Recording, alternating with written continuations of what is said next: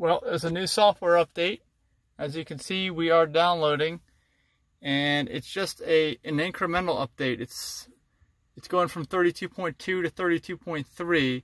My guess is it may have something to do with the air suspension like I noticed. Hopefully that's what it is anyway, not my air suspension is bad. I did a video on that, did some weird things with the air suspension on this current update, which is good, so hopefully that solves it. Alright, well let's get the new software installed. I have to turn off the Sentry mode and also turn off Keep Climate on. And let's go ahead and install it right now.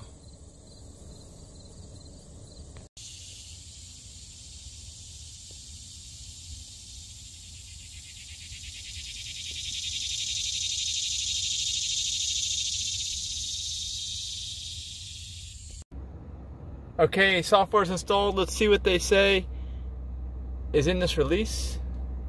I guess it's not a whole lot. Same power wall, same car left open notifications, and suspension improvements, notifications history, and that's it. Really just minor improvements and bug fixes. Hopefully the suspension is better now. Hopefully it does this for me where it doesn't give me problems and we will see. We're going to test it all out. Make sure you like the video down in the lower right hand corner. Click that like button. I Actually, that's not like that's, that's subscribe. Subscribe. Hit that subscribe button. Be sure to like, share, subscribe. Hit the thumbs up and the bell for notifications. We'll see you in the next video.